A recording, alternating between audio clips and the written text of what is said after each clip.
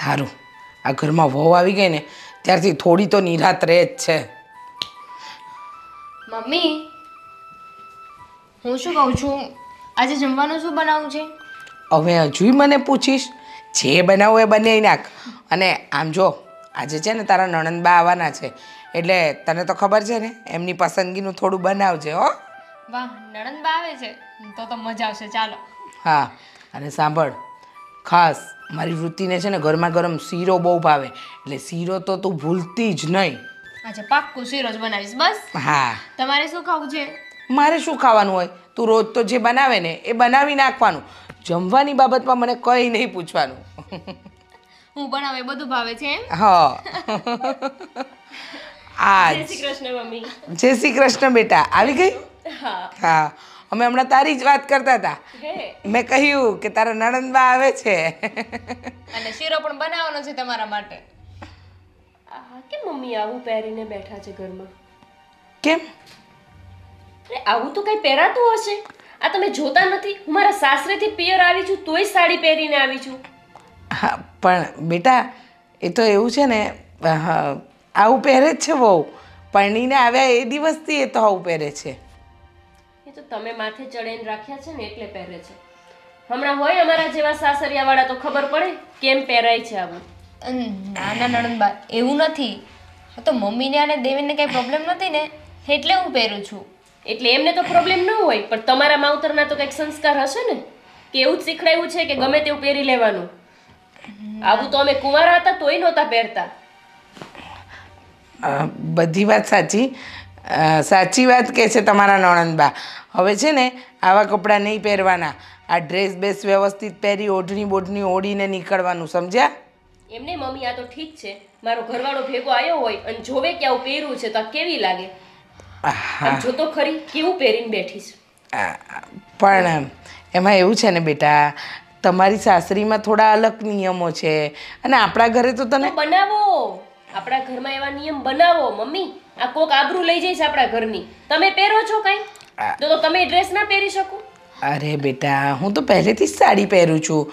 અને વહુ આવી બધી વાતથી નથી ટેવાયેલી. ટેવાઈ જશે ધીમે ધીમે હો.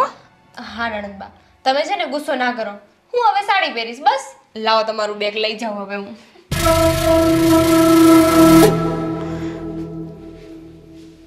શું આવતા વેટ તૂટી પડી વહુ પર? લે તમને તો દીકરીથી વધારે વહુ વાલી થઈ ગઈ. અરે કેવું પહેરીને બેઠી હતી મમ્મી? આ મારા સાસરિયા વાળું ભેગું કોઈ આવ્યું હોય તો કેવું ખરાબ લાગે? અરે બેટા આપણા ઘરમાં ચાલે છે એટલે પહેરે છે. પણ શું કામ ચાલવો છો તમે? બસ. આવું કહી અને એના મનને દુઃખ થાય એવું નહીં કરવાનું. સમજ. મારી વાત સાંભળ. મેં એક બે વાર એને ટોકી હતી મેં કહ્યું તું બેટા આવા કપડાં નહીં પહેરવાના. મને કે સારું મમ્મી. અને હવે ઘરમાં હતી ને અમે બંને હોઈએ એટલે પહેરે છે. બાકી કાંઈ આવા કપડાં પહેરીને બહાર નથી જતી. એટલે મહેમાન તમને પૂછીને આવે? આ તો ઠીક છે કે હું છું તો ફોન કરીને તમને આવું છું. બાકી બીજા કોઈ બહાર ના આવે તો તમને પૂછે કે અમે તમારા ઘરે આવીએ અને આવીને ડાયરેક્ટ જોવે કે આવું પહેરેલું છે. કેવું લાગે? હા હા તારી વાત સાચી. પણ હું શું કહું છું? સાંભળ ને. હવે મમ્મીના ઘરે આવી છે તો હસતું મોડું તો રાખ. જો તને નથી ગમતું ને કે તારા ભાભી આવા કપડાં પહેરે તારા ભાઈની બહુ આવા કપડાં પહેરે તને જરાય નથી ગમતું ને? ગમે ને ઘરની આબરૂ જાય છે. સારું હું કહીશ. હવેથી એ ડ્રેસ પહેરશે બરાબર? આવા જીન્સ ને આ ટોપ ને એવું નહીં પહેરે બરાબર? જીન્સ પહેરું તો એ બરાબર પાછું ફાટેલું પહેરેલું જીન્સ તમે જોયું? હા એ તો મને નથી ગમતું આવા ફાટેલા કપડાં. કપડાં આખા પહેરાય ફાટેલા થોડી પહેરાય. મેં તો એને કીધું કે એક બે ઠીંગણા માર દે પણ સમજતી નથી. મને કે મમ્મી ફેશન છે. એ ફેશન એને કઈ તારા ઘરે કરજે. અહીંયા નહીં. આ કઈ એનું પિયર છે? અહીંયા અમે પિયરમાં આવી તોય સાડી પહેરીને આવીએ છીએ. બોલો. હા પણ તારા સાસરીવાળા છે ને બહુ સંસ્કારી છે. અને આપણે નથી? આપણે તો જાણે કેમ આબરૂ વેચીને ખાઈ ગયા હોય. અરે બેટા એવું નથી. એ લોકોને ત્યાં હજુ પણ આ સાડી પહેરવાનો રિવાજ છે. હવે આપણા કુટુંબમાં એ રિવાજ શું વાત કરી રહ્યા છો? કંઈ નહીં. તારી બેનને છે ને ગુસ્સો આવ્યો છે. આ તારી વહુ આવા કપડાં પહેરે છે ને જીન્સ ને ટોપ એ નથી સારું લાગતું. આ આપણા ઘરની આબરૂ જાય સમજો અરે બેન હવે એમાં શું આબરૂની વાત કરવાની? આજકાલ તો આ બધી ફેશન છે. બસ હો બેસી ગયો બૈરીના ખોળે. શું ફેશન છે? કેવા કપડાં પહેરેલા છે તે જોયા પેલા મમ્મી હા હા. પણ જીન્સ ને ટોપ પહેરેલું છે એમાં ક્યાં ખોટું છે? કઈ ઉઘાડું દેખાય છે? આખું ફાટેલું જીન્સ છે એનું જોઈ આવજા. અને વૃત્તિની વાત સાચી છે. સમજ આ તો બેનને સાસરીવાળા આવ્યા હોય તો કેવું ખરાબ દેખાય. આ તો સમજ કે આપણા આજુબાજુના પાડોશી અને સગાવાળા સારા છે કે વાત નથી કરતા. પણ કોઈ વગર કીધે આવી જાય અરે પણ મમ્મી એ બહાર પહેરીને ક્યાં જાય છે? એ ઘરમાં હોય ત્યારે જ પહેરે છે ને. તમને પણ ખબર છે. તમે શું બેનની વાતમાં આવી ગયા? અને માનો કે એ આ આવા કપડાં પહેરે છે તો આજકાલ આવી બધી ફેશન છે. અને બેનની વાત કરો છો તો બેનના સાસરે ક્યાં રોજ આવી જવાના છે? જોયું મમ્મી? બેનની વાતમાં ક્યાં આવી ગયા? કેટલો બદલાઈ ગયો છે મારો ભાઈ બાપ. આવો હતો જરાય. કેવો હતો? મને પૂછ્યા વગર કોઈ દી પાણી નહોતો પીતો ને કોઈ દી ખાતો નહીં. અરે. એના બદલે હવે તો જો. અરે સાંભળ સાંભળ. તારે ના જવા દે. અરે હું તો મજાક કરતો હતો. જોયું? કેટલો નાટક કરી રહ્યો છે? જાણ તો કેમ મને કઈ ખબર ન પડતી? હવે હું કઈ નાની નથી હો કે તું મને મનાવને હું માની જાઉં. મમ્મી હવે મારી આની ભાઈ કાંઈ કદર રહી નથી હો.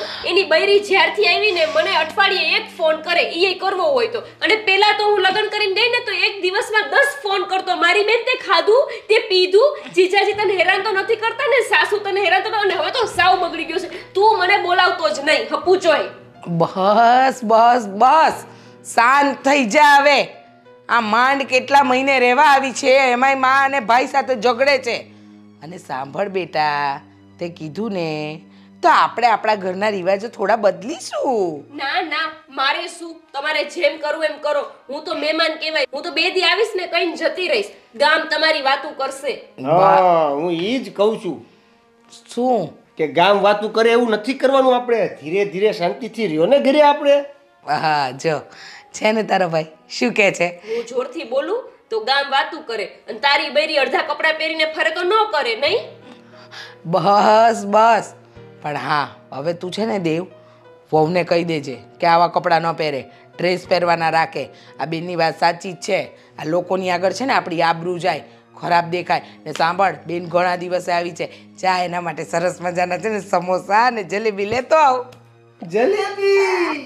તેવું તેવું ચાલો. સમોસા ને જલેબી લઈ આવું છું. હા. પાછી રેજે. હા રહીશ જ અહીંયા રોકાવાની શું થેલો લઈને આવીશું. હા હા. હવે તો બેન પંદર દાડા મહિનો રોકાઈને જ જશે.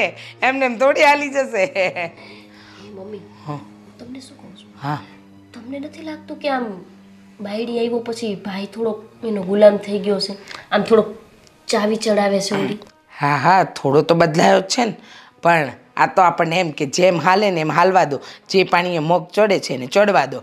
એમ છે ભાઈ એવું ન ચાલે મમ્મી. આજે આટલો બદલાયો છે. કાલે વધારે બદલાઈ જશે ને તો તમારા હાથમાંથી નહીં જશે. હા પણ તું ચિંતા નહીં કર ને. અને હવે તો મને ચિંતા નથી. તું આવી છે ને એટલે આ ઘરનું તંત્ર આખું બદલાઈ જ જશે. સારું હાલ. તારે ફ્રેશ નથી થવું? હા હા. હાલો. હા.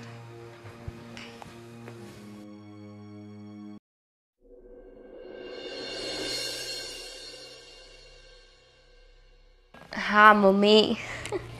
હા બસ એ આજે જ આવ્યા નણંદબા. હા કહેતા હતા રોકાવાનું. જોઈએ હવે. બાકી તમારા તબિયત પાણી કેવા છે? સારું ઠીક છે. હા હા જય શ્રી કૃષ્ણ. કોની સાથે વાત ચાલુ હતી? મમ્મીનો ફોન હતો. શું કહેતા? કાંઈ નહીં આ તો નણંદબા આવ્યા છે ને તો મેં ફોન કર્યો હતો અચ્છા. હા જો મને યાદ આવી ગયું.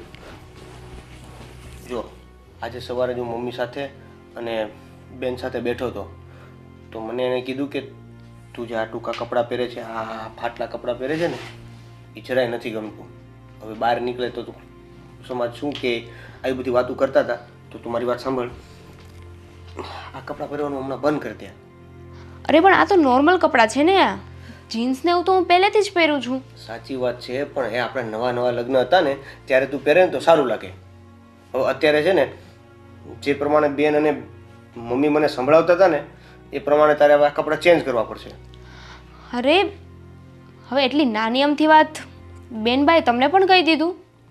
હવે નાની અમથી વાત હોત તો હું તને પણ ના કહેત ને. સાંભળ બેન અને મમ્મીએ જે સવારે કીધું ને એ મને પણ સાચું લાગે છે. તું આ બધા કપડાં પહેરવાનું બંધ કરી દે. અત્યાર સુધી તમને આ કપડાં ગમતા હતા.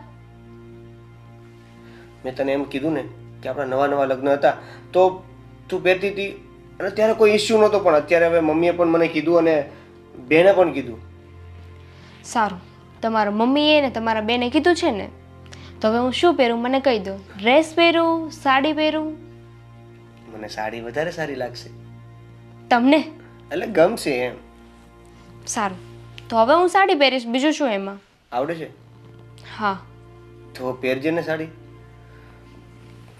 મને પણ સારું લાગશે મમ્મીને પણ સારું લાગશે અને બેન પણ મને કાંઈ નહીં કહે. નહીં તો જેટલા દિવસ અહીંયા રહેશે ને સંભળાવી સંભળાવીને મારું મગજ ખાલી કરી નાખશે. તો તમે તમારી બેનને કહી શકો છો ને? આમાં કંઈ ગલત તો છે નહીં? તું પાછી ફરીવાર એ પોઈન્ટ ઉપર આવી ગઈ. મેં તને કીધું ને કે એના પોઈન્ટમાં મને પણ કંઈક સાચું લાગે છે. વાંધો નહીં. ચાલ.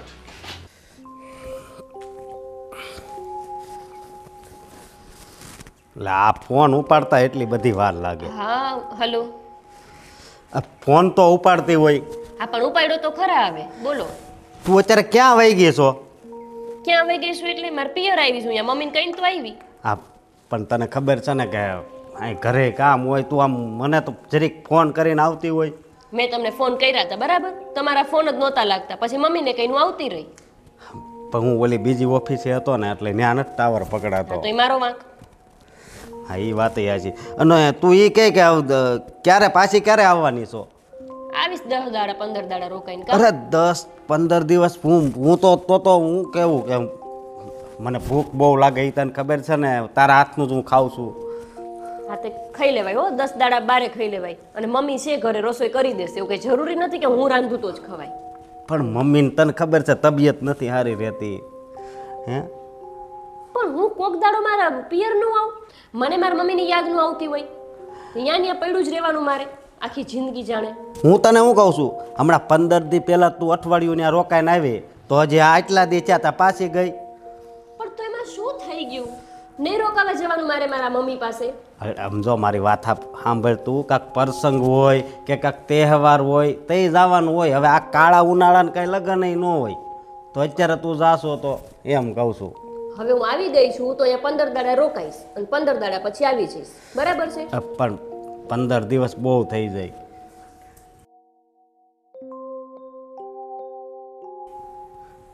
આમને છે ને થોડાક દિવસ રોકાવાનું હતી અહીંયા આવું ત્યારે મને કંઈક મજા આવતી હોય. ત્યાં તો આખો દિવસ મમ્મી કેમ જ કરે રાખવાનું હોય મારે. અહીંયા આવું તો મારું કંઈક હાલે. અહીંયા જ મારું કોઈ સાંભળે. અહીંયા તો મારું કોઈ સાંભળતું જ નથી.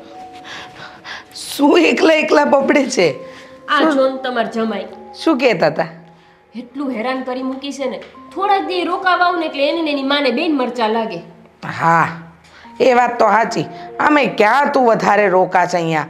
આ મહિનામાં પંદર દિવસ માણસ ન રોકાય?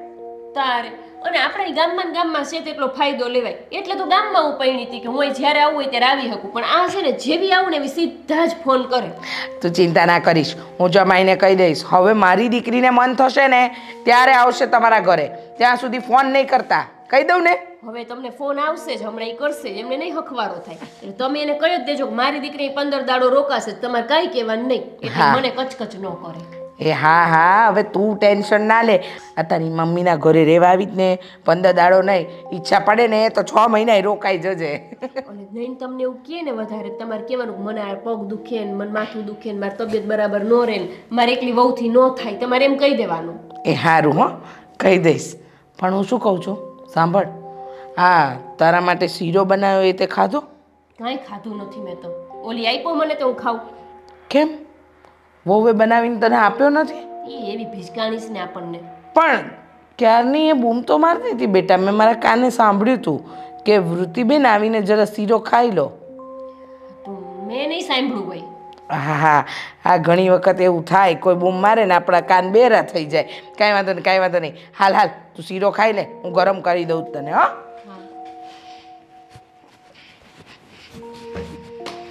ઓલી નહોતી ને? તો બહુ સારું હતું. મારું બેટું ઘરમાં મારું જ હાલતું. જ્યારથી એ આવી છે ને હારું ઘરમાં બધું એનું જ હાલે છે. કંઈક તો કરવું પડશે. આ ભય ને આ મારી માં મને પૈસા વગર કોઈ દી પાણી ન પીતા. અને હવે તો મારા હારા મને કાંઈ પૂછતા નથી.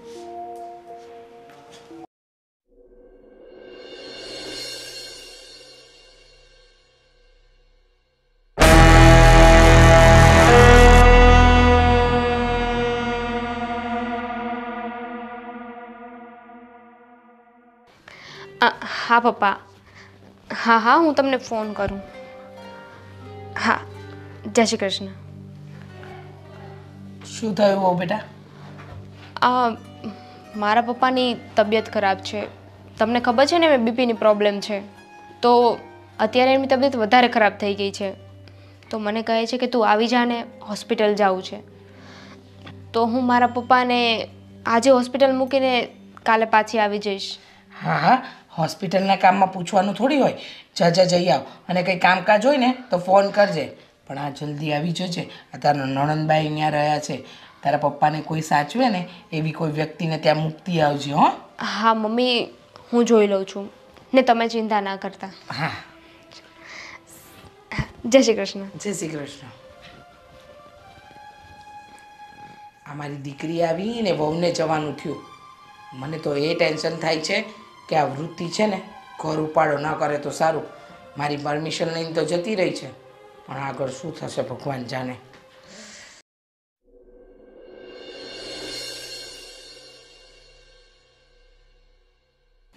આજકાલ ધાર્મિક કથાઓ સાંભળીએ ને એટલે મગજ બહુ શાંત રહ્યો મમ્મી રસોઈ થઈ ગઈ છે? મને બહુ જ ભૂખ લાગી છે. રસોઈમાં એવું છે બેટા શાક મેં બનાવી દીધું છે. બસ હવે ગરમા ગરમ ભાખરી બનાવવાની તૈયારી કરું છું. કેમ? તમે? ક્યાં છે ભાભી? અરે હું તો તને કહેવાનું જ ભૂલી ગઈ ને. આ એના પપ્પાનો ફોન આવ્યો હતો અને એના પિયરમાં તો એના પપ્પા સિવાય કોઈ છે નહીં. એના પપ્પાની તબિયત અચાનક બગડી. એટલે એના પપ્પાએ કીધું કે બેટા જલ્દી આવ. એટલે એટલે ભાભી ત્યાં ગયા છે એમ જ ને? હા. એટલે કે નણંદ અહીંયા ઘરે આવી છે અને ભાભીને ત્યાં જતું રહેવાનું. આ સારો નિયમ છે. એટલે કામ એને કંઈ કરવું જ ન પડે હે ને? અરે બેટા સમજ ને એના પપ્પા ત્યાં એકલા છે અને હોસ્પિટલ આ વહુ ન લઈ જાય તો કોણ લઈ જાય? હજી લગ્ન કરીને આવ્યા ને, એને કોઈ લાંબો સમય નથી થઈ ગયો કે એના પપ્પા બીમાર પડે ને સીધું જતું આવતું રહેવાનું. આ શું પંદર દાડા થયા નથી ને કે જવાનું ને આવવાનું? તમે જોતા નથી મારા લગ્નને કેટલા વર્ષો થયા? છતાંય હું અહીંયા આવું છું ને તો મને સીધો ફોન આવી જાય છે કે હવે પાછા પધારો.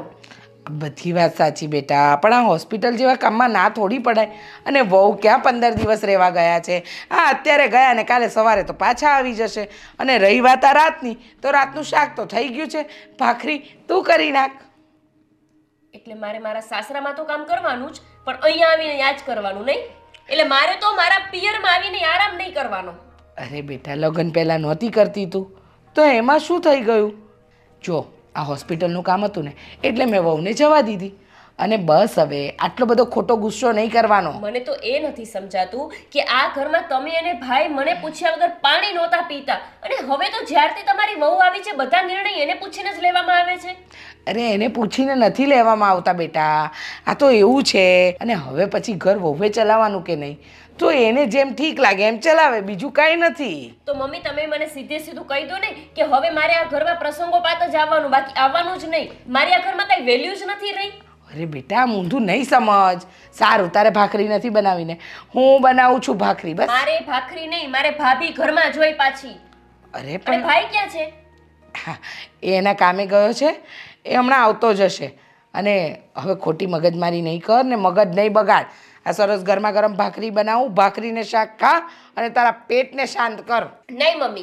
ભાભી અત્યારે પાછી આવશે બીજી કોઈ વાત નહીં. તો જ હું જમીશ બાકી નહીં જમું. બેટા આ ખોટી જીત છે. એના પપ્પા હોસ્પિટલમાં છે. એમની કોઈ દેખભાળ કરવાવાળું નથી. તો ભાભી ત્યાં જાય. એ થોડીને એના પપ્પાના ઘરે આરામ કરવા ગઈ છે. તો એના પપ્પાનું મહત્વ છે પણ મારું નથી. એનો મતલબ એવો જ થયો ને કે હું અહીંયા આવી છું ઘરે તો મહેમાન તરીકે નણંદને નહીં સાચવવાની પણ પપ્પા પાસે જવાનું. બેટા બીમારી કંઈ કહીને થોડી આવે. અને એના પપ્પાને થોડી ખબર હતી કે તું આવવાની છે ને એમની તબિયત બગડશે. મને કહે તો. મારે મમ્મી કંઈ સાંભળવું નથી. મારો આ છેલ્લો નિર્ણય છે. ભાભી અત્યારે ઘરમાં આવશે પાછા અને અથવા તો હું આજે રાત્રે જ અહીંયાથી જતી રહીશ. મારે જમવું નથી. ના બેટા આવી ખોટી જીદ નહીં કર.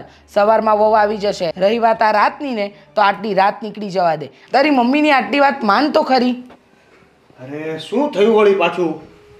શું થયું? તને કાંઈ નથી ખબર? આ ભાભી કોની રજા લઈને ના બાપના ઘરે જતી રહી? મમ્મીને પૂછીને? હા મને પૂછ્યું હતું. એટલે મમ્મીને પૂછીને જતી રહી? મને પૂછવાય નથી રહી. અરે પૂછવા છોડ મને કીધુંય નથી. નાનપણથી આજ સુધી તારી જિંદગીનો કોઈ પણ નિર્ણય તે મને પૂછીને લીધો છે. તારે શું ભણવું, કેવી છોકરી સાથે લગ્ન કરવા, શું કરવું, શું ને બધું જ તે મને પૂછીને કર્યું. અને હવે આ તારી બાયડી મને પૂછવા પણ નથી રહેતી. અને તું એને કંઈ કહેતોય નથી. આટલો બધો તું ગુલામ બની ગયો છું એનો. બસ બેટા, આ વાતને છે ને આટલી લાંબી ખેંચવાની જરૂર નથી. બહુ મને પૂછીને ગઈ. હવે છે ને તમે ભાઈ બહેનને જે વાત કરવી હોય ને કરો. મને રજા આપો. આ છે ને બધો મમ્મીનો જ વાંક છે. મમ્મીએ ચડાવી મારી છોડીને, માથે ચડાવીને બેસાડી છે વહુને તો. આ અમારા સાસરામાં અમે અમારું હજી સુધી ચાલતું નથી જરાય. પાંચ વર્ષ થયા મારા લગ્નને, અને આ છે કે હજી આજકાલની આવેલી ને ઘરમાં બધું એનું જ ચાલવા માંડ્યું છે. જો ભાઈ, મારે તારું કંઈ સાંભળવું નથી, મારો છેલ્લો નિર્ણય છે. તું એને અત્યારે ને અત્યારે એના બાપના ઘરેથી પાછી બોલાવીશ, અને પછી જ હું જમીશ. ઘરમાં ખાલી શાક બનાવીને જતી રહી છે. ભાખરી અમારે બનાવવાનું? એટલે હું અત્યારે એને લેવા જાઉં. એ જાતે ગઈ છે ને તો એ જાતે જ આવી જશે. તારે લેવા જવાની જરૂર નથી. ખાલી એને ફોન કરીને કહી દે કે ઘરે પાછી ગુડાઈ. એ બેન આ જો મમ્મી સાંભળી જશે ને તો દોડતા દોડતા અહીં આવીને તને એમ કહે છે કે પસંદ તમે જ કરી છે. મને નહોતી ખબર. જ્યારથી આવી છે એમ ઘરમાં તો રાણીની જેમ ફરે છે. કાંઈ નહીં તો ફાટેલા કપડાં પહેરીને ફરે છે. મજા આવે ત્યારે બાપના ઘરે જતી રહે છે. અરે આ તો કઈ રીત છે? આપણા ઘરના તો બધા રિવાજો જ બદલાઈ ગયા છે. અરે મમ્મી આ ઉંમરે સાડી પહેરીને ફરે છે? કમસે કમ ડ્રેસ તો પહેરે. આ તો નહીં ફાટેલા જીન્સ. બેન એના વિશે તો મેં એકવાર વાત કરી લીધી છે એની સાથે. અને હવે કદાચ નહીં પહેરે એ. તે વાત કરી લીધી. એનું પરિણામ શું આવ્યું? તે કપડાં આવા નહીં પહેરવાના એવી વાત કરી તો આ તો બેન એના બાપના ઘરે જતા રહ્યા છે. અરે એ તો અચાનક બન્યું છે. હવે આમાં એ અચાનક બન્યું એટલે જતું રહેવાનું. પણ હું અહીંયા આવી છું એ તો એને ખબર હોવી જોઈએ ને કે હું એની નણંદ છું. બેન માનું છું માનું છું કે હું તારી બધી વાત માનું છું. પણ આ વખતે હોસ્પિટલની વાત છે તો થોડુંક લેટ ગો જો દેવેન મારે કાંઈ જ સાંભળવું નથી. એને ફોન કર અને નહીં પાછી બોલાવ. હું પછી જ જમીશ. એટલે મારે ભૂખું જ રહેવાનું છે એવું ને?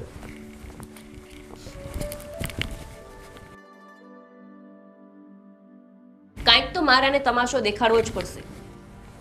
તો જ ભાભીને ખબર પડશે કે આ ઘર ઉપર એની નણંદનું જ રાજ ચાલે છે અને નણંદનું રાજ જ ચાલતું રહેશે.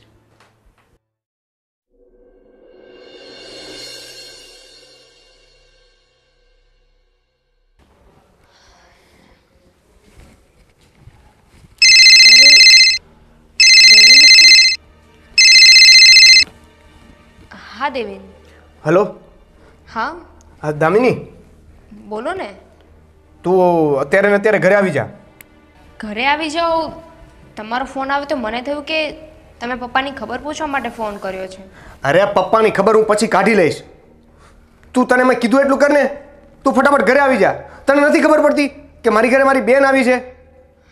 બેન આવી છે તો તમને ખબર છે ને કે મારા પપ્પાને હોસ્પિટલમાં એડમિટ કર્યા હતા. હજુ જસ્ટ હું ઘરે આવી છું. અરે હા તો મને એ પણ ખબર છે કે તારા પપ્પાને આમ તો વારંવાર આવી રીતના હોસ્પિટલે જવાનું હોય છે. દેવેન તમે કેમ આવી રીતે વાત કરો છો? તમને મારા પપ્પાની જરા પણ ચિંતા નથી? મને પણ ચિંતા છે. પણ તું હવે અત્યારે તું છે ને કોઈકના ઘરની વહુ છે. અને અહીંયા મારી બેન આવી છે. તો તારે તારે ત્યાં તારા ઘરે જવાની શું જરૂર હતી? દેવેન ઇમરજન્સી હતી એટલે હું આવી છું. અને બેન આવી છે તો ઘરે મમ્મી છે ને? હું મમ્મીને કહીને આવી છું.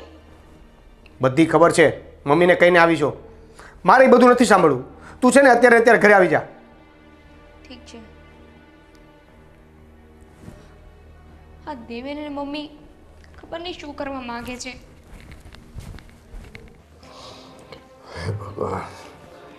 હે ઈશ્વર. પપ્પા? હા બેટા. હવે તમારી તબિયત કેમ છે? હા. બેટા હવે થોડુંક સારું છે. પણ થોડીક અશક્તિ અને નબળાઈ. હા પપ્પા. એ તમારું બીપી આ વખતે થોડું વધારે લો થઈ ગયું હતું ને? એટલે તમને એડમિટ કરવા પડ્યા હતા. પણ હવે ચિંતા ના કરશો. બેટા ડૉક્ટરે શું કીધું? કંઈ નહીં એમને જે દવા આપી છે ને એ હવે તમે કન્ટિન્યુ લયા કરજો. હા. અને હું હું કહું છું મને હે ને ગભરામણ જેવું થાય છે. હા પપ્પા એ અશક્તિ અને ગભરામણ માટે છે ને મેં લીંબુ શરબત બનાવી નાખ્યું છે. તમે જાતે પી લેજો હું જાઉં છું. તું કેમ જાય છે? આ દેવેનને ખબર નથી કે મારી તબિયત ખરાબ છે? ખબર છે પપ્પા એમનો કોલ આવ્યો હતો અને તમારી તબિયત પણ પૂછતા હતા. હા. એમણે મને ઘરે પાછી બોલાવી છે. ઘરે કંઈક ઇમરજન્સી આવી હશે ને એટલે જવું પડશે મારે. બેટા તારે કહેવાય ને તારી સાસુને કે મારા પપ્પાની તબિયત નથી હારી હા પણ ત્યાં પણ એવું કંઈ કામ હશે ને એટલે જ મને પાછી બોલાવી હશે. બાકી તો ના બોલાવે. સારું બેટા. પાછી ખબર કાઢવા આવતી રહેજે હા પપ્પા હું થોડા દિવસમાં પાછો એક આંટો મારી જઈશ. અને મારી દવા? હા. દવા ક્યાં મૂકી એ મેં ડ્રોવરમાં મૂકી છે. સારું બેટા. જા તું તારે. હવે તમે આરામ કરો હું જાઉં છું. હા બેટા. સંભાળીને જજે. હા પપ્પા.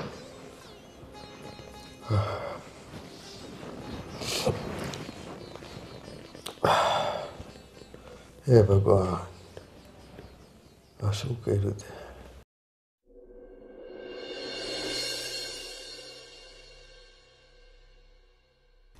હવે મમ્મી આ તમારા મહારાણી પધાર્યા કે હજુ નથી આવ્યા?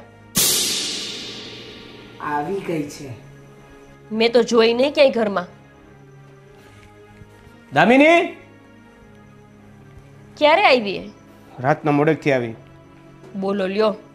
રાતના વહુઓ મોડેકથી તો ઘરમાં આવે. અરે આઠ વાગ્યા પછી તો મારી સાસુ મને ઘરની બહાર પગ નથી મૂકવા દેતી. અને આપણા ઘરમાં તો રાતના બે બે વાગે વહુ આવે. દામિની! આવી હા. અહીંયા ક્યારના બોલાવે છે તને? પણ હું કામ કરતી હતી. જો આવી ગયા. તને એમ કઈ ખબર પડે છે? તારા ઘરમાં કોઈએ તને કાંઈ એમ શીખડાવ્યું છે? કઈ સંસ્કાર જેવું ખરું તમારામાં? હવે શું કર્યું મેં? બોલો ને બેનબા. હું અહીંયા ઘરમાં ગુડાણી હતી તો તારે તારા બાપના ઘરે જવું હોય તો એક વખત મને મળીને તો જવું જોઈએ ને. તમને? પણ તમને શું કામ મળીને જાઉં હું મમ્મીને કહીને ગઈ હતી ને. અને હું કંઈ મારા શોખથી તો નહોતી ગઈ. મારા પપ્પાની તબિયત ખરાબ હતી એટલે ગઈ હતી. શું કામ? મને કઈ જાઉં એટલે? આ ઘરમાં મારો ભાઈ મને પૂછીને કરે છે. તો તું વળી કઈ વાડીની મૂરી છો? કે તું મને એમ કહે કે હું તમને પૂછીને શું કામ જાઉં? હું ઘરમાં હતી ને. તો તારે મને પૂછીને નહીં તો કમસે કમ કહીને તો જવાય ને. હા દામિની તારે બેનને પણ પૂછવાની ફરજ છે. દેવેન મારા પપ્પાને હોસ્પિટલમાં એડમિટ કરવા પડે એમ હતા. ઇમરજન્સી હતી. એમાં ઘરમાં એક એક સદસ્યને હું પૂછવા આવું કે હું જાઉં મારા પપ્પાના ઘરે? એટલે તારા પપ્પાને મહિનામાં દસ વાર ઇમરજન્સી આવશે તો શું તું દસ વખત જતી રહીશ? કેમ? મમ્મીને કાંઈ થાય? તો તમે નથી આવતા? મમ્મી માટે મારો ભાઈ છે હો. અને મારે શું કરવું કેટલી વાર આવવું કેટલી વાર ના આવવું એ તારે નથી જોવાનું. આ મારું ઘર છે. બેનબા તમારું જ ઘર છે એમાં હું ક્યાં ના પાડું છું? પણ જ્યારે મમ્મી બીમાર પડે તો તમે આવો છો ને? તમે શું કહ્યું કે ભાઈ છે મમ્મી માટે? મારા ઘરે તો કોઈ નથી ને? તારા બાપનો પ્રશ્ન છે. અમારો પ્રશ્ન નથી. બેનબા થોડું જોઈને બોલો. તમે મારા પપ્પા વિશે બોલી રહ્યા છો. હા તો? દેવેન તમે તો કઈ બોલો. બરાબર તો કહે છે? હવેથી જવાનું હોય. તો કઈને જવાનું? વાત પતાવ ને બેટા. આને લાંબી લાંબી વાત કરીને ખેંચવાથી શું મતલબ છે? મમ્મી હું ખેંચી રહી છું કે બેનબા ખેંચે છે? અરે પણ હું એમ કહું છું તું મને જોયું? હજી તો તમારી સામું બોલે છે. ચડાવો હજી માથે બેસાડીને ખવડાવો એને એટલે હજુ બોલે. અરે હવે વધારે લાંબી વાત નહીં કરો. તમે લોકો આ વાતને અહીંયા પતાવો. અને જઈ આવીને હવે તારા પપ્પાને પણ કહી દેજે કે એમની દેખભાળ માટે છે ને કંઈક વ્યવસ્થા કરી લે. આ વારે ઘડીએ તને બોલાવે ને સારું ન કહેવાય. મમ્મી મારા લગ્ન થયા ને ત્યારે જ વાત થયેલી હતી કે મારા પપ્પાની આગળ પાછળ કોઈ નથી. તો જ્યારે એમને જરૂર પડશે ત્યારે મારે જવું પડશે. અને હા તો મારી ફરજમાં આવે ને. એક કામ કર હવે તું એના ઘરે ઘર જમાઈ થઈને વયો જા. એના ઘરે કોઈ નથી એની બાપનું દેખભાળ કરવા વાળું તું જાતા એને જોડે. જો દામિની આપણી લગ્ન પહેલાં વાત થયેલી હતી. પણ મને એ નહોતી ખબર કે દસ દસ વાર ઘરે જવું પડશે. અને એ પણ નણંદ આવી હોય તોય. એટલે ઘરે મહેમાન આવ્યું હોય તો તારી આ ઘર માટે કોઈ ફરજ જ નથી. પેલી ફરજ તારે તારા બાપની નિભાવવા જવી છે. વાહ.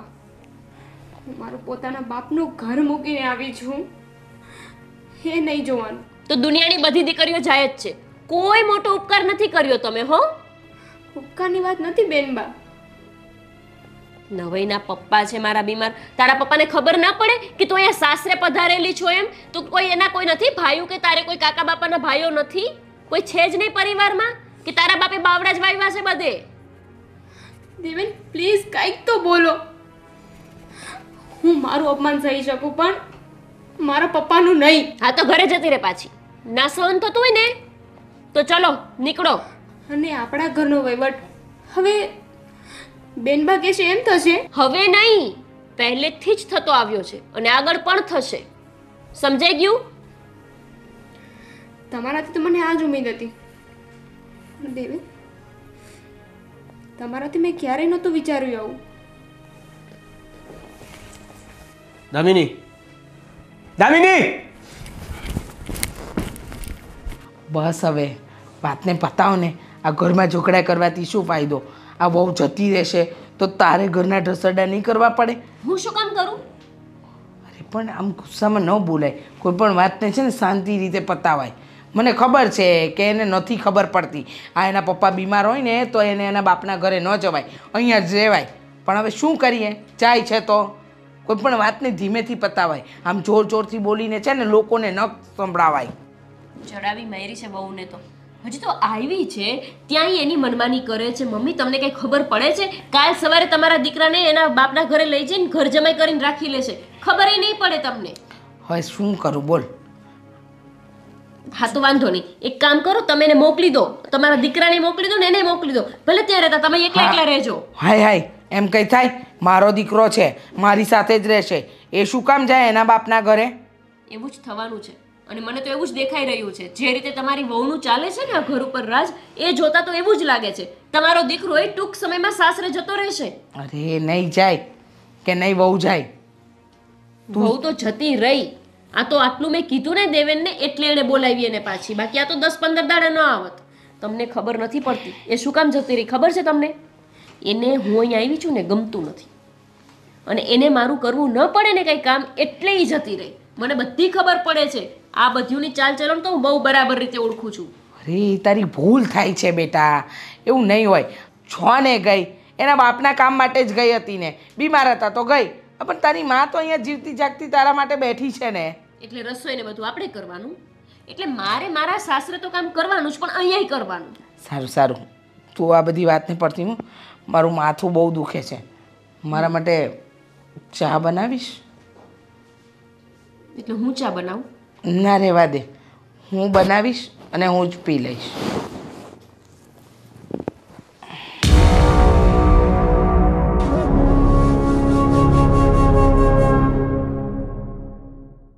કેમ? આ બધાની વચ્ચેથી અહીંયા અલગ કેમ આવી ગઈ? હું ત્યાં બધાની વચ્ચેથી અહીં આવી ગઈ. તમે મને એનું સંભળાવો છો. હું અહીંયા રડું છું. મારી ફિલિંગ્સની તમને તમને કોઈ કદર નથી. એ બધું જવા દો. મને એમ કહો, મારા પપ્પા બીમાર હતા ને અહીં એવો તો શું પહાડ તૂટી પડ્યો હતો કે તમે મને એટલી જલ્દી બોલાવી લીધી. તને ખબર છે ને કે મારા ઘરમાં મારી બેનનું હાલે છે? એ જે કે એમ કરવાનું હોય. એમાં પીલુડા પાડવાની શું વાત છે? અને રહી વાત તમારા પપ્પાની. તો છે ને મારી બેને મને એવું કીધું કે એને અત્યારે અત્યારે બોલાવી લે. એટલે મેં તને બોલાવી છે. તમારામાં જરીક પણ માણસ છે કે નથી દેવેન કોઈ માણસ હોસ્પિટલમાં બીમાર છે. ને તમે તમારી બેન કે એમ કરો છો? તમારી લાઈફમાં તમારી બેન સિવાય વધારે કોઈ ઇમ્પોર્ટન્ટ છે કે નથી? દામિની, મારી બેન વિશે હું પહેલાં તો ગમે તે નહીં સાંભળી લઈશ. ઇમ્પોર્ટન્ટ છે એટલા માટે એની વાત બધી માનવાની છે. સોરી દેવેન મારાથી આવું નહીં થાય. નહીં થાય? કેમ નહીં થાય? હું આ બધું સહન નહીં કરી શકું. લગ્ન કરીને આવીને ત્યારે આવી કોઈ વાત નહોતી થઈ કે જેમ બેન કહે છે ને એવું જ કરવું પડશે. તો બધી વાત થઈ હોય ને એ બધી વાત એ જ રીતે ચાલે એવું જરૂરી નથી હોતું. સમયસર કદાચ કોઈક વસ્તુ બદલાય પણ ખરી. અને તમને પણ પસંદ મારી બેન જ કરી હતી ને? એના કેવા પર જ આપણે બેના લગ્ન થયા છે. તો શું થઈ ગયું? હવે એમના લગ્ન થઈ ગયા છે. હવે એમના પિયરમાં બોલે સારું ન લાગે. હવે તો મમ્મી કે તમે કહો એવી રીતે કરવાનું હોય ને? એમના ઘરમાં એમનું ચાલતું હશે. પણ આ તો આપણું ઘર છે ને? હા આપણું ઘર છે. પણ અહીંયા પણ બેનનું જ ચાલશે. સારું. આ ઘરમાં બેન કહેશે એમ થશે. પણ આ સંસાર તો આપણો છે ને? તો એમાં બેન દખલંદાજી કઈ રીતે કરી શકે દેવેન એવું નથી જાણતો. મને એટલી ખબર છે કે મારે બેનની વાત માનવી પડશે. સોરી દેવેન હું નહીં માનું. કેમ નહીં માને? તું આ ઘરની વહુ છે? હું આ ઘરની વહુ છું. તો મારો પણ કોઈ અધિકાર હોય ને આ ઘર પર? જ્યારથી બેન આવે છે ત્યારથી તો મને એવું જ લાગે છે કે આ ઘરની હું નોકરાણી છું. જો અધિકાર તો મારા પણ છે. તો પણ હું ને મમ્મી બેનની વાત માનીએ છીએ ને તો તારે પણ માનવી પડશે. જો દેવેન આવું ને આવું ચાલતું રહ્યું ને બેન આપણી વચ્ચે આપણા ઘરમાં બોલતા રહેશે ને તો મને નથી લાગતું કે આપણું સુખી સંસાર વધારે ચાલે. હું વિચારું છું કે મારા પપ્પાને ફોન કરીને એમની સાથે વાત કરી લઉં. શું વાત કરીશ? હું એમને કહીશ. જે આ ઘરમાં થઈ રહ્યું છે ને હું એમને કહીશ. તો એક કામ કર ને તારા પપ્પાને બોલાવવાની શું જરૂર છે? અહીંયાથી બિસ્તરા પોટલા બાંધીને નીકળો. ના એમ તો કોઈ બીજાના લીધે હું મારું ઘર સંસાર નહીં વીખું. હું મારા પપ્પાને અહીંયા બોલાવીશ ને જ આ વાતનો નિવેડો લાવશે. વાત એ માનવી નથી અને ઘરેથી જવું પણ નથી. તો બોલાવી લ્યો પપ્પાને બોલાવી લ્યો. એટલે આ વાતનો નિવાડો લાવી જ દઈએ. અને આ પીલુડા પાડવાનું બંધ કરો. અરે હોય ત્યારે કડવાનું શરૂ.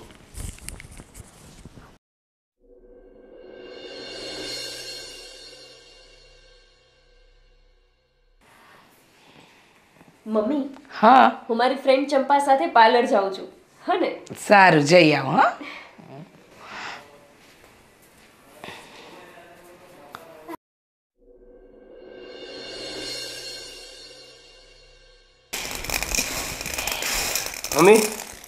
જય શ્રી કૃષ્ણ. હું ઓફિસે જાઉં છું. અરે બેટા થોડી વાર બેસ ને. શું ઉતાવળ છે આટલી ઓફિસ જવાની તને? અરે મમ્મી ધંધે તો ટાઈમે જવું પડે ને. મમ્મી રસોઈ શું બનાવવાની છે? હા રોજ બનાવીએ એ જ. દાળ ભાત શાક રોટલી. સારું. દામિની હું પણ ઓફિસે જાઉં છું. ચાલો બા. ના. તમારે આજે ઓફિસે નથી જવાનું. પણ કેમ? મેં પપ્પાને ફોન કર્યો છે. અને પપ્પા આવે છે. તારા પપ્પા શા માટે આવે છે? એ પપ્પા આવે ને એટલે ખબર પડી જશે. હા. એટલે બોલાવી પણ લીધા એમ ને હા.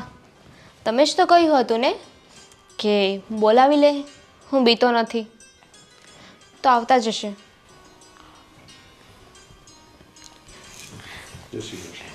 જય શ્રી કૃષ્ણ બેભાઈ કેમ છો? જય શ્રી કૃષ્ણ.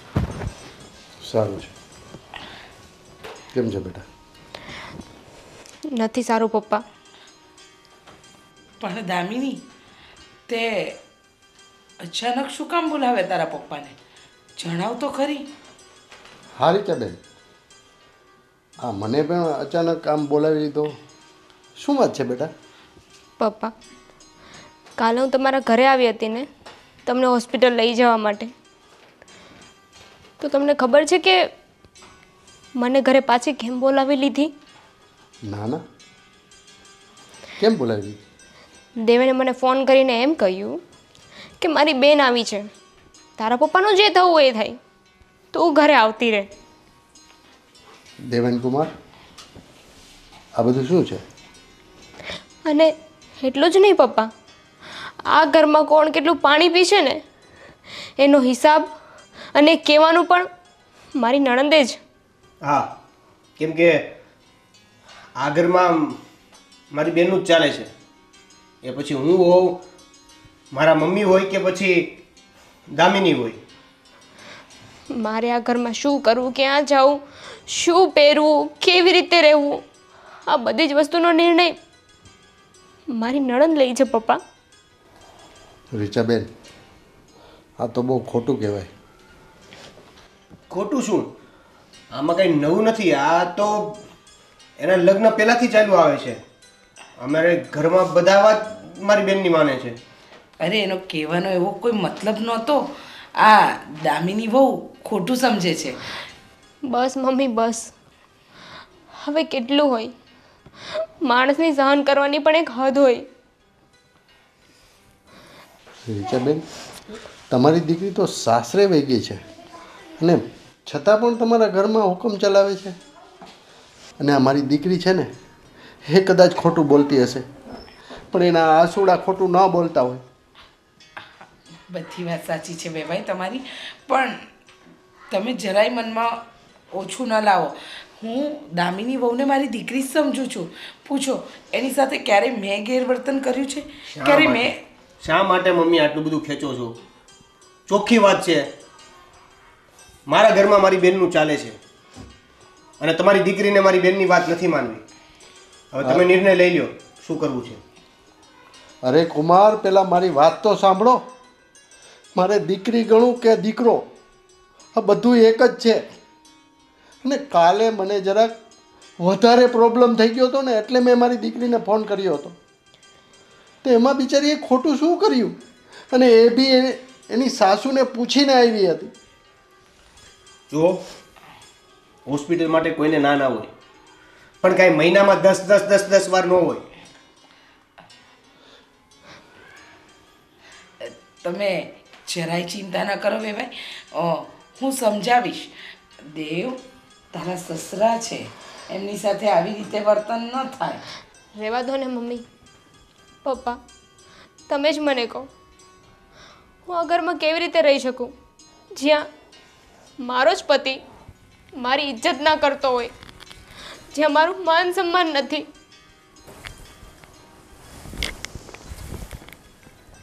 જય શ્રી કૃષ્ણ. જય શ્રી કૃષ્ણ. જુઓ બેટા તમે ખોટું સમજો છો. અને હું હું તમને કહું છું ને કે હવે પછી આવું ક્યારેય ઘરમાં નહીં થાય. તમે કંઈ એમનો વિચારો ને પપ્પાના ઘરે જવાવાળી વાતને મગજમાં પણ નહીં લાવો. શું થયું મમ્મી? કેમ અચાનક જ તે ભાભીના પપ્પા અહીંયા? કંઈ નહીં. આ ગઈકાલની વાતથી લઈને દામિની એના પપ્પાને જણાવ્યું છે અને વેવાઈ આવ્યા છીએ કે દામિની સાથે આ ઘરમાં કેવું વર્તન થઈ રહ્યું છે. કઈ વાત? એ જ. વાતને ફેરવો નહીં ને મમ્મી. એ જ વાત નણંદબા કે તમે મારા પપ્પાને આવી હાલતમાં મારા પપ્પાના ઘરેથી મને અહીંયા બોલાવી લીધી. ઓ કેટલી મોટી વાત હતી નહીં કે તમારે તમારા પપ્પાને અહીંયા સુધી લાંબા કરવા પડ્યા? પણ એક મિનિટ ભાઈ કાલ તો લગભગ તમે બીમાર હતા ને? હા બેન પણ મારી દીકરીનો ફોન આવ્યો એટલે મારે ના છૂટકે આવવું પડ્યું વાહ તમારા સંસ્કાર કાકા માની લીધું હો. આટલી કમથી વાત તમારા દામિની બેને અહીંયાથી ત્યાં પણ પહોંચાડી દીધી અને તમે ત્યાંથી આવી ગયા સીધા ઉડીને? બેટા કોઈ પણ બાપ દીકરીનો ફોન આવે અને દીકરી કંઈક તકલીફમાં હોય તો ગમે એવી હાલતમાં આવે જ ને બેટા. તો દીકરીને શીખવાડીને મોકલાય ને અંકલ કે સાસરીમાં નાની મોટી તકલીફ તો રહેતી જ હોય એ સહન કરવાની હોય. હું પાંચ વર્ષથી લગ્ન કરીને ગઈ છું અને શું અમારા ઘરમાં કોઈ તકલીફ જ નહીં આવી હોય? એક વખત તો મારા મમ્મી કહે કે મેં એમને ત્યાં બોલાયા હોય. તકલીફ આવી હોય ને તો એ તમારા ઘરમાં તમારા ઘરનાના લીધે આવી હોય. આ ઘરમાંથી ત્યાં કોઈ તકલીફ આપવા નથી આવ્યું. પણ તમે તમારું ઘર મૂકીને અહીંયા મારું ઘર બાળવા આવ્યા છો. બરાબર. એટલે તમારા દીકરીનું કહેવું એમ થાય છે કે આ ઘર મારું નથી. હે ને? અરે એવું નથી. આ ઘર તારું જ છે બેટા. જો અંકલ આ ઘરમાં તો આ જ રીતે ચાલશે. તમારે ને તમારી દીકરીને જે નિર્ણય લેવો હોય એ તમે લઈ શકો છો. અરે બેન તમે આવો નિર્ણય શા માટે લો છો? મારી દીકરી ખાલી ખબર કાઢવા માટે મારી ઘરે આવી એમાં મારી દીકરીનો શું વાંક છે? હા તો એટલે તમને અહીંયા બોલાવ્યા ને એનો વાંક છે. અને તમારા ઘરમાં આવું ચાલી રહ્યું છે? એ મારી દીકરીએ મને ક્યારેય નથી કીધું. હું મારી દીકરીને દુઃખી તો નથી જ જોવા માંગતો બેન. તો તમારી ઈચ્છા તમારી દીકરીને અને તમને આ ઘરમાં બહુ મોટો દુઃખનો પહાડ પડી ગયો હોય એવું લાગતું હોય તો તમે લઈ જઈ શકો છો તમારી દીકરીને. રીચાબેન આ તમારી દીકરી શું બોલે છે? એ જ જેનો તમારે હવે નિર્ણય લેવાનો છે. હા કે ના પાડો એટલે ખબર પડે. બેટા તારા સાસરીવાળા શું બોલે છે આ બધું? રેવા દો ને પપ્પા. મારો જ પતિ મારો નથી રહ્યો તો બીજાને તો શું કહેવાનું? એટલે તું એવું ઈચ્છે છે કે એકથી બે વર્ષમાં મારો ભાઈ તારો થઈ જાય. અરે અમે એને આટલો મોટો કર્યો છે. ચોવીસ વર્ષનો અમે કર્યો છે તે નહીં. ના બેનબા એ મારો ગુલામ ક્યાંથી બનવાનો? એ તો તમારો ગુલામ છે ને? મારો ભાઈ છે. બેટા શું કામ આવી બધી માથાકૂટ કરે છે? મને થયું કે આ ઘરમાંથી જતા પહેલાં એક ટ્રાય કરી જોઉં. પણ પપ્પા, આનો કોઈ મતલબ નથી. હવે હવે મને તમે તમારી સાથે લઈ જાઓ. અરે ના બેટા, આમ ઘર છોડીને થોડી જવાય. હા ઘર તારું છે. અને કયા ઘરમાં ઝઘડા ના થાય? નણંદ ભાભીમાં પતિ પત્નીમાં સાસુ વહુમાં બધાની સાથે ઝઘડા થતા જ હોય. પણ આવી રીતે ઘર છોડીને ન જવાય. પ્લીઝ તું આવી રીતે નહીં જા હા. તું. રોકાઈ જા. મમ્મી જો તમને પણ ખબર છે કે અહીંયા આપણા ઘરમાં બેન કહે છે એ જ નિર્ણય ફાઇનલ છે. અને દામિનીને એ વાત મંજૂર નથી. તો હવે એ નિર્ણય લઈ શકે છે કે એને રહેવું છે અને બેનનું માનવું છે કે પછી ન માનીને એના ઘરે જતું રહેવું છે. હું છે ને મારા ઘરે જતી રહીશ. તમારે છે ને તમારા બેનના પલુથી બંધાઈને રહેવું હોય ને તો રહો. મને પણ શોખ નથી આ ઘરમાં રહેવાનો. ના બેટા તું નહીં જાય. આ ઘરની વહુ છે. આમ કંઈ થોડી ઘર છોડીને જવાય. અને ઝઘડા થતા રહે. એનો એનો મતલબ એ નથી કે આપણે ઘર છોડીને આપણા પિયરમાં જઈને બેસી જઈએ. અને વેવાઈ મારી વાત પર વિશ્વાસ રાખો. તમારી દીકરીને મારા ઘરમાં હવે કંઈ ઓછું નહીં આવે અને ક્યારેય કોઈ કમ્પ્લેન નહીં કરે. બસ, મારા ભરોસે છોડીને જાઓ. તમે આમ હાથ ના જોડો.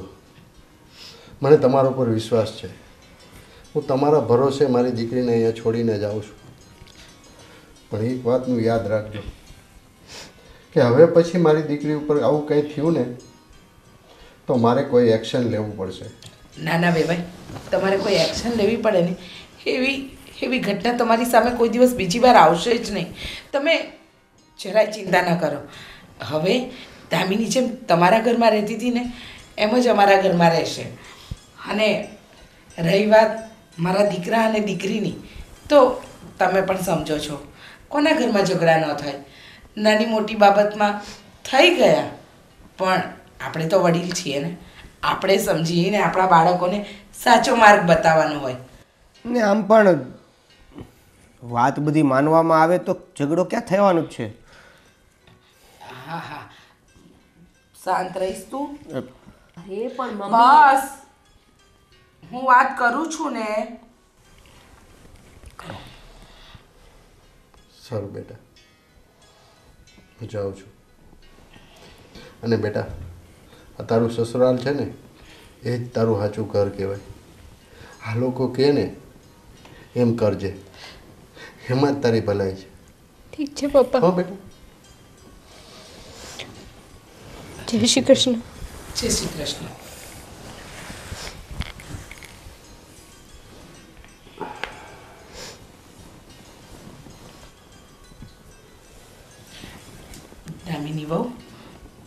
રસોઈની તૈયારી કરીએ? મમ્મી હું ઓફિસે જાઉં છું.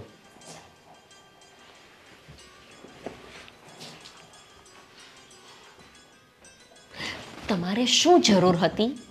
તમને તમારી વહુ પ્રત્યે એટલો બધો લગાવ છે કે એના બાપના હાથ પણ જોડી લીધા? બસ હવે બસ. હવે એ છે ને તારા ભાઈની ઘરવાળી છે. તો? શું તો? હવે ચૂપ રે. બોલતી નથી ત્યાં સુધી.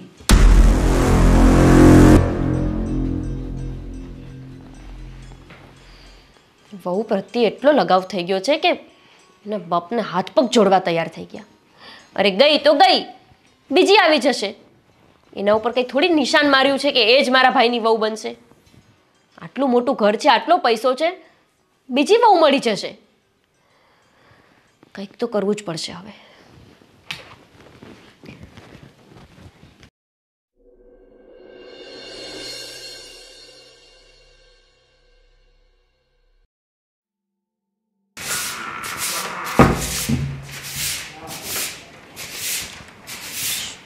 ઓ મેડમ.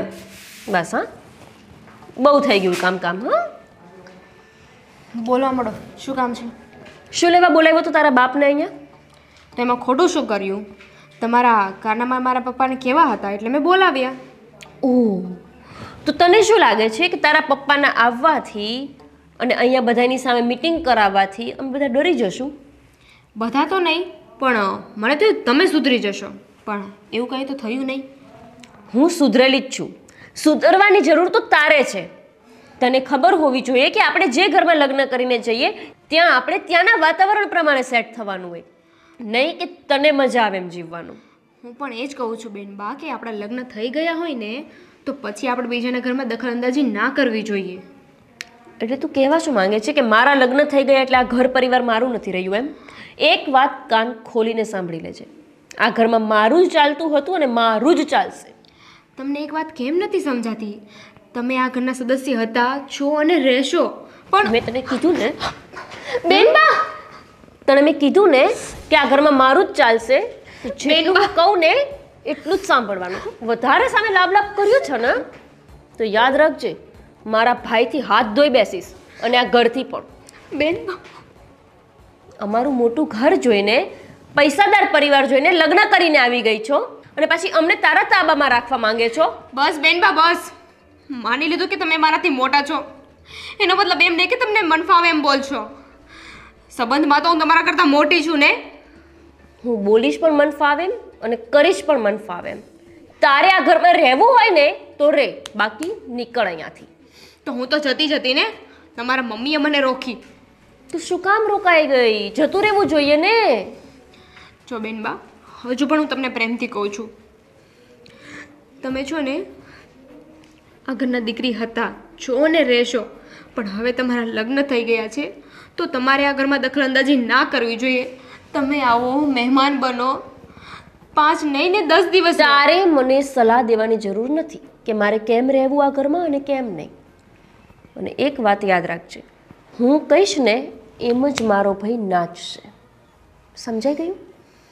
ચાલ કર કામ.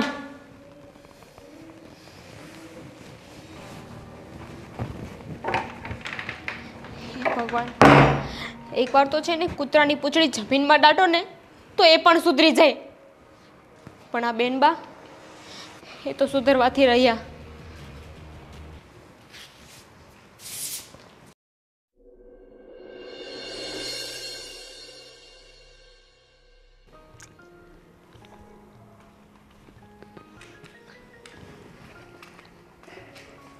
તું શું કરે છે અહીંયા બેઠી બેઠી? ફોટા પાડું છું. શું કરું છું? આ ફોટા પાડવાનો સમય નથી બેટા. જા. જા અને અંદર તારી ભાભીને થોડી મદદ કર કામમાં. બોલો. મારા સાસરે ત્યાં નોકર ચાકર છે ને અહીંયા હું કામ કરું? મમ્મી તમે કેવી વાત કરો છો યાર? તારું સાસરું રૂપિયાવાળું છે. અને તારા મમ્મીનું ઘર છે ને એટલું બધું રૂપિયાવાળું નથી. સમજી? અને સાસરીમાં છો ને ન કરે પણ અહીંયા પિયરમાં થોડો તો હાથ વગો કરવા લાગ. એ કરે છે ને કામ? કરવા દો ને એને. એને શું કામ છે? બસ હવે હં. પણ તું પણ હદ કરે છે. મેં શું કર્યું હવે? હવે કારણ વગરના ઝઘડા થોડી ઊભા કરાય. અને હું તને કહું છું કે થોડું ભાભીને મદદ કર. તો કરાય ને મદદ. નથી કરવી. તું છે ને પહેલેથી જિદ્દી હતી ને જિદ્દી જ રહી. અને જીદ્દી જ રહેવાની. પણ મારા શબ્દ યાદ રાખજે. તારી જીદ છે ને એક દિવસ તને એવી ડૂબાડશે એવી ડૂબાડશે કે તારે બહાર નીકળવું હશે ને તોય તું તડફડિયા મારીશ. સમજી? કાંઈ શરમ આવી મમ્મી થઈને આવું બોલો છો? તમને ખબર નથી પડતી કે આવું ન બોલાય. તમે માં છો મારા. માં છું ને એટલે સલાહ આપું છું. સલાહ. અને તું દીકરી છે ને તો સમજી વિચારીને રે. નહીતર કાલે ઉઠીને એવો સમય ના આવે બેટા. કે આપણે વિચારતા હતા કોઈકના માટે ખરાબ અને થઈ ગયું આપણા માટે જ ખરાબ. સમજી?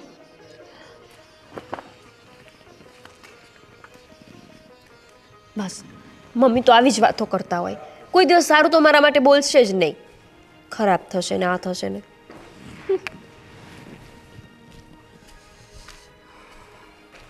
થઈ ગઈ નવરી. લે તમે અચાનક જ અહીંયા. મારો ફોન કેમ નથી ઉપાડતી તું? અરે બાપા પણ હું ફોન ક્યાંથી ઉપાડું? આ ભાભી છે ને એના પપ્પા આવેલા હતા. એમના જોડે બેઠી હતી હું. એટલે એણે ફોન ઉપાડવા ના પાડી હતી? અરે પણ મહેમાન બેઠા હોય ને હું ફોન ઉપાડું. તમારી તો વાતું જ આવી હોય. હું કહું જલ્દી હાલ આવ ઠેલો લઈ લે. આમ ઘરે આવવાનું છે તારે. શું આમ જલ્દી હાલ થેલો લઈ લે? એટલે આ શું? મમ્મીની તબિયત નથી સારી. તો હાલ ને. એમની કોઈ દિવસ સારી હોય છે. એમાં કંઈ નવાઈ તો છે જ નહીં. તું કેમ હાવ આવું બોલવા મળી છો હા પણ મમ્મીની તબિયત નથી સારી એટલે શું? મમ્મીની તબિયત સારી હોય છે ક્યારે? મને એમ કહો ત્રણસો ને પાસઠ દિવસે બીમાર હોય. મારી વાત સાંભળ. હાલ અત્યારે ઠેલો લઈ લે. જો મેં પહેલાં જ કીધું તું મમ્મીને કે હું પંદર દાડા તો રોકાઈશ જ. હજી અઠવાડિયું થયું આવી એને. અને ત્યાં પાછી આવું. મારી વાત સાંભળ. અત્યારે જેટલા દી થયા હોય એટલા. મમ્મીને હાવ સારું થઈ જાય ને પછી પાછી આવજે અને મહિનો દી રોકાજે બસ. ના હો. મમ્મીને તો કાંઈ નક્કી નહીં. એમને તો ક્યારેય સારું થાય. જો હું તારી સાથે કાંઈ રમત નથી કરતો મમ્મીની તબિયત નથી સારી તો હાલ ને? મેં તમને કીધું ને કે હું નથી આવવાની. મમ્મીને એક દી માથું દુખતું હોય ને એક દી પગ દુખતા હોય ને એક દી ઢીચણ દુખતા હોય ને એક દી કાંઈક દુખતું હોય. જો હું આવવાની નથી. અહીંયા હું પંદર દિવસ રોકાઈશ મેં એવું કીધું તું ને. દર વખતનું છે મમ્મીનું. હું પાંચ દિવસ રોકાઉં ને એટલે એમની તબિયત આમે ખરાબ થઈ જાય. કેમ કે શું છે કે એમને બે ચાર કામ વધારે કરવા પડે. આ દર વખતનું છે યાર. તારે આવવાનું છે કે નહીં? નહીં. હજી જો છેલ્લી વાર કહું છું તારે ઘરે આવવું છે કે નહીં? પણ તમે સમજતા નથી. મમ્મી નાટક કરે છે તમને કેમ નથી સમજાતું? હું જ્યારે અહીંયા પંદર દિવસ રોકાવાનું કહીને આવું ને એટલે પહેલાં મને હા પાડીને મોકલી દેશે. પાંચમો દિવસ ઉગે ને એટલે એમને ગમે એ તબિયત બગડે અને તમને મને પાછળ પાછળ લેવા મોકલી હતી બસ હવે? નાટક મમ્મી નથી કરતા પણ નાટક તું કરશો. અને તારે તારી માની ન્યાજ રહેવું છે ને તો રે. આવતી નહીં કોઈ દિવસ. લે. આ શું વાત થઈ? આની માં છે જેવી. મને રોકાવા ન દેવી હોય ને એટલે એવા એવા નાટક કરશે ને. પણ હું જવાની જ નથી આ વખતે. દર વખતે આવું થાય છે. પંદર દાડાનું કંઈ ના આવું ને એટલે પાંચ દાડામાં પાછળ પાછળ લેવા મોકલે. પણ આ વખતે નહીં. આ વખતે હું અહીંયા જ રહીશ. જોઉં છું. પંદર દાડા મને રહેવા કેમ નથી દેતા આ વખતે?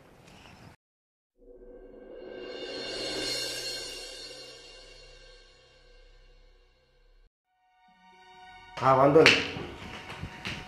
બેન કેમ ગુસ્સામાં લાગે છે? બસ. શું થયું? કંઈ નહીં. બેન કહીશ મને શું થયું એમ? કેમ ગુસ્સામાં છે? તારા જીજાજી આવ્યા હતા. ક્યારે? અરે એ જ તો. બારોબાર મને મળીને જતા રહ્યા.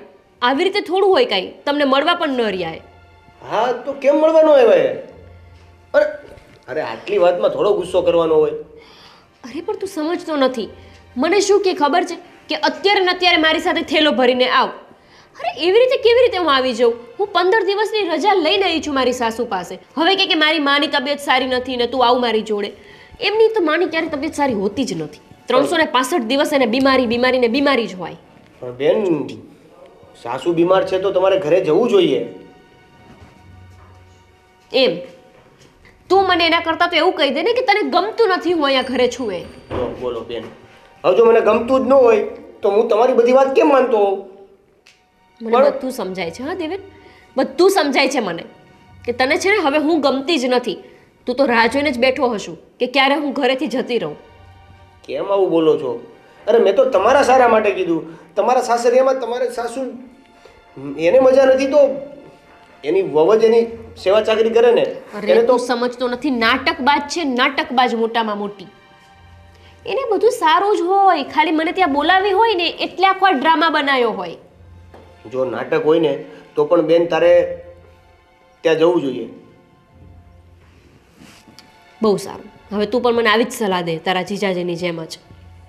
તો રોકા. આમાં અમારું તો આખું ઘર તારી જ વાત માને છે. હવે તું ક્યાં અમારી વાત માનવાની છો? તારે છે ને મને વારંવાર આવું સંભળાવવાની જરૂર નથી કે તમે લોકો મારું માનો છો. કોઈ નવાઈ નથી કરતા. તું જ્યારે નાનો હતો ને ત્યારે મેં અને મમ્મીએ જ તને મજૂરી કરીને મોટો કર્યો છે. આટલો ભણાયો છે ને આટલો કેપેબલ બનાવ્યો છે કે તું આજે આખું ઘર ચલાવી શકે. તેમાં શું નવાઈ કરે છે તું અમારું માને છે તો? હવે જીજાજી ઉપર ગુસ્સો કરીને હવે મારા ઉપર ગુસ્સો કરીશ. રોકા મને શું વાંધો છે? હા તો રોકાઈશ જ. પંદર દિવસનું કંઈ નહીં છું ને પંદર દિવસ પૂરા થાય પછી જ જઈશ. આ નક્કી જ છે. હું તો તારા સારા માટે. કેવી બેન મળી છે? અને એક શબ્દ નથી કહેવાતો.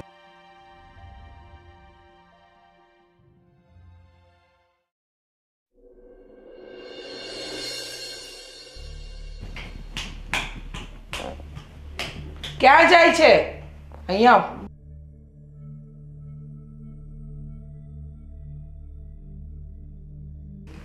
શું છે? શું આટલા ગુસ્સામાં જતી હતી? અને શું થયું કહીશ? કાંઈ નથી થયું. તમને શું? અરે જે હોય કે ને. થયું શું છે? તમારા જમાઈ પધાર્યા હતા. શું કહેતા હતા? શું કહેતા હતા? તમને મળવા પણ ના આવ્યા અને જતા રહ્યા. આ પણ થયું શું કે મને મળ્યા વગર જતા રહ્યા? કહીશ જરા. એમને તો બસ ફટકતું જ હોય વાતની વાતમાં. અરે મને કે કે તું અત્યારે અત્યારે થેલો ભરીને મારી સાથે આવ. અરે એવી રીતે થોડી હું જતી રહું. અરે પણ એમાં શું છે? આ તારું ગામમાં પિયર્યું ને ગામમાં સાસર્યું છે. થેલો ભરીને કદાચ જવાનું કીધું જમાય તો જતું રહેવાય ને. બસ તમારે અને દેવને તો એટલું જ જોઈએ છે કે હું જતી રહું અહીંયાથી. જો તો અહીંયા આવીને એને અઠવાડિયું થઈ ગયું. બરાબર? આ આઠ દિવસની અંદર છે ને આપણે કંઈ ઉકાળ્યું નથી. કંઈ ઉકાળ્યું નથી મતલબ? કંઈ કામ હશે તો જ જમાઈ આવ્યા હશે ને તને લેવા? બાકી આટલા વખતમાં ક્યારે આવ્યા છે? દર વખતે એમનું એવું જ હોય. હું પંદર દિવસનું કહીને આવી હોય ને એટલે અઠવાડિયું પણ મને ન રોકાવા દે શાંતિથી. અઠવાડિયું થાય ને એટલે મારી સાસુને બીમારી લાગુ પડી જ જાય. અરે શરીર છે માણસ બીમાર થાય.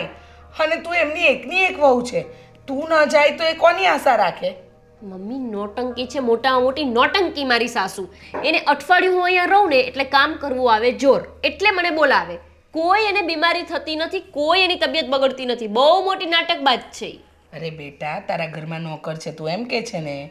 તારા ઘરમાં બધા નોકરો કામ કરે છે. તો પછી તારા સાસુ નાટક શું કામ કરે?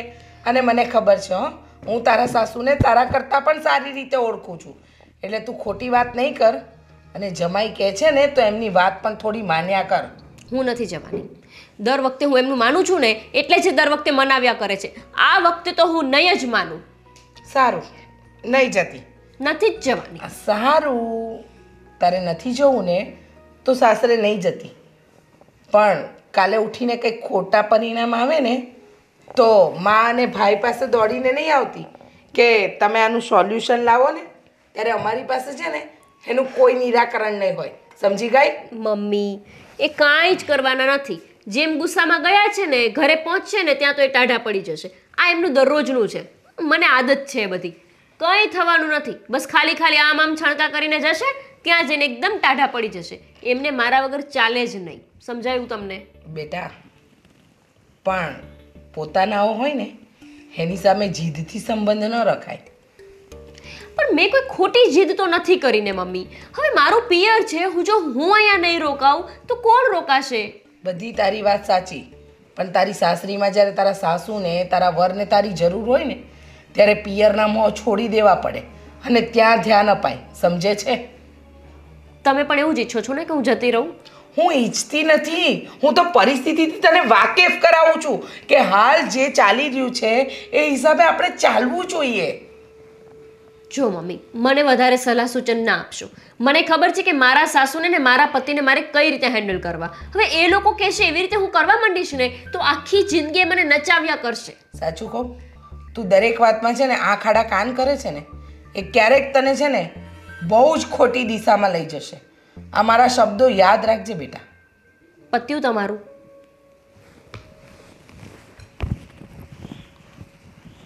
આ સમજતી કેમ નથી? અહીંયા આવી તો વહુને ઘરમાંથી બહાર કઢાવે ત્યાં સુધીની પરિસ્થિતિ ઊભી કરી. અને ત્યાં એની સાસરીમાં એકની એક એ વહુ છે, તો ત્યાં કેવી રીતે રહેવાય, કેમ એને રહેવું જોઈએ, કેમ કંઈ સમજતી નથી. બધી જ વાતમાં એ આડું, શું મારે એને સમજાવવી? પણ બેટા, અત્યારે તું જે કરી રહી છે ને, એ બહુ જ ખોટું કરી રહી છે.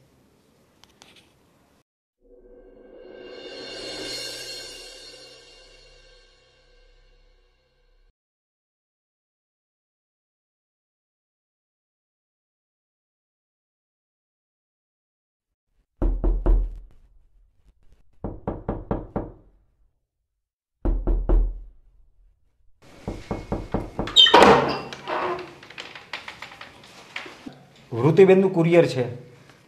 થેન્ક યુ હા હું આપી દઈશ. વૃતિબેન માટે કુરિયર?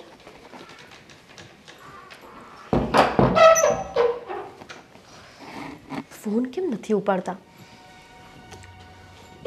બેનબા આ તમારા માટે કુરિયર આવ્યું છે. મારા માટે કુરિયર? તે શું કામ લીધું? હું જાતે લઈ લેત ને? ડોટી.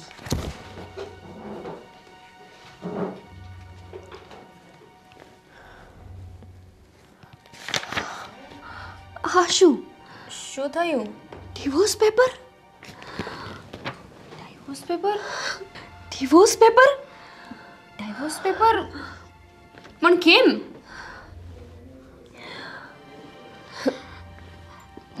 મમ્મી! દેવેન? મમ્મી? મમ્મી? શું છે બહુ બેટા? આ સાની બૂમા બૂમ કરો છો તમે? હા અશોકભાઈએ વૃત્તિબેનને ડાયવોર્સ પેપર મોકલ્યા છે. શું? ન્યૂઝપેપર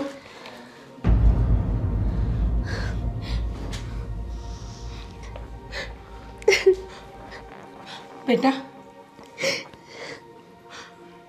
જોયું ને? હું કહેતી રહી તને કે પોતાનો સંસાર બચાવ.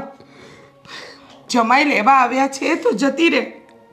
પણ તને એમ લાગતું હતું ને કે અશોક કુમાર તો ધમકી આપે છે. એમનાથી કંઈ નહીં થાય. પણ માણસના માથા ઉપરથી પાણી વહી જાય ને બેટા, ત્યારે માણસ આવા આકરા નિર્ણય લઈ લે. મમ્મી, મને થોડી ખબર હતી.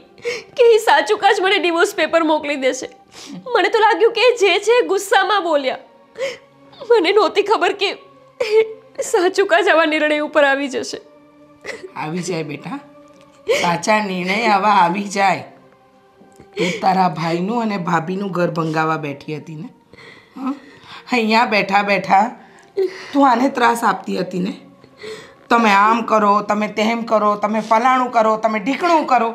આજે જોયું? તે હાથે કરીને તારો ઘર સંસાર તોડ્યો. અશોક કુમારે તને ડાયવોર્સ પેપર મોકલાવી આપ્યા. મમ્મી હવે હું શું કરીશ? મને તો કાંઈ નથી સમજાતું. બેન તમે ચિંતા ના કરો. આપણે એમની સાથે વાત કરીશું ને એમને ઉતાવળમાં નિર્ણય લઈ લીધો હશે. આપણે બધા જ જઈશું એમની પાસે. હા બેન આપણે બધા એને સમજાવીશું. જોયું વૃત્તિ આપણે કોઈના માટે ખાડો ખોદીએ ને, તો ક્યારેક આપણે પણ એમાં પડી જઈએ. એટલે નીતિ સારી રખાય. કોઈના વિશે ખોટું કે ખરાબ ક્યારેય ન વિચારાય વહુ એના પપ્પાની સેવા માટે ગઈ હતી ને, તો પણ તે આખું ઘર માથે ઉપાડ્યું હતું. અરે, તે વહુને તો જવા દે. એના પપ્પા સાથે પણ ગમે તે રીતે વાત કરી હતી. જોયું આજે? એટલે દીકરી સાસરે જાય ને, પછી સાસરિયામાં શોભે. ત્યાંના નિર્ણયો એ ઘરની વાતોમાં ધ્યાન આપે. મા બાપના ઘરની વાતોમાં નહીં. અને હવે હવે તો એવું કે તારા ભાઈની વહુ છે ને, એ તારા ઘરને સંભાળશે. કેમ સમજતી નથી તું? હું તને કેટલા દિવસથી સમજાવતી હતી કે બેટા વૃત્તિ જતી રહે તારા ઘરે. તારા સાસુ બીમાર છે. તારે જવું જોઈએ. પણ તું એકની બે ન થઈ. ભાભી સોરી મેં તમારી સાથે બહુ ખોટું કર્યું. ભાઈ, તું પણ હવે ભાભીની જ વાતને માનજે. મારી નહીં. કેમ કે એ બહુ સારા છે. મેં એમની સાથે આટલું ખરાબ વર્તન કર્યું તોય ક્યારેય એમને મારી સામે ઊંચા અવાજે વાત નથી કરી. ભાભી પ્લીઝ મને માફ કરી દેજો. ધ્રુતિબેન તમે માફી ન માગો. જાણતા અજાણતા તમારાથી ભૂલ થઈ ગઈ. પણ આજે મને વધારે દુઃખ એ વાતનું છે કે તમારા ડાયવોર્સ થવાના છે. ના, મમ્મી. તમે હાલો ને. આપણે એમને મનાવીએ, એમને સમજાવીએ. કંઈક તો થશે. એ તમારી વાત ચોક્કસ માનશે. મારે એમનાથી ડિવોર્સ નથી લેવા. હું એમનાથી અલગ થવા નથી માંગતી. એ તો મારી વાત ચોક્કસ માનશે. પણ તું મારી વાત માનીશ? હા મમ્મી. તમે જે કહેશો એ હું માનીશ. બસ મારો ઘર સંસાર ન ઉજળવો જોઈએ. તો હવે પછી વાર તહેવાર સિવાય તારે તારા પિયરિયામાં નથી આવવાનું. અને જ્યારે પણ આવે ત્યારે અશોક કુમારની મરજી હોય ને તો જ આવવાનું. અને જો તારા સાસુની તબિયત સારી હોય ને તો જ આવવાનું. અને બીજી વાત કે આ ઘરમાં આવીને ભાભી પર કે ભાઈ પર ખોટી જો હુકમી નહીં કરવાની. મંજૂર છે? હા મમ્મી. મને બધું મંજૂર છે. પણ તમે અત્યારે હાલો ને ભાઈ. તું ચલને સાથે. એમને મનાવ ને તું. પહેલાં હું તારી ભાભી સાથે માફી માગી લઉં? મેં પણ તારી વાતમાં આવીને એને ઘણું બધું દુઃખ આપ્યું છે. દામિની? શું મારી બેનની વાતમાં આવીને મેં તારી સાથે જે અન્યાય કર્યો છે એ તું મને માફ કરીશ? ના દેવી. એમાં માફી ના માગવાનું હોય. તમે જે કંઈ પણ કરતા હતા ને, એ બેનબાના કેવા પરથી કરતા હતા? અને એ તમારો બેન પ્રત્યેનો પ્રેમ હતો. હું સમજુ છું. એટલે તમારે માફી માંગવાની કોઈ જરૂર નથી.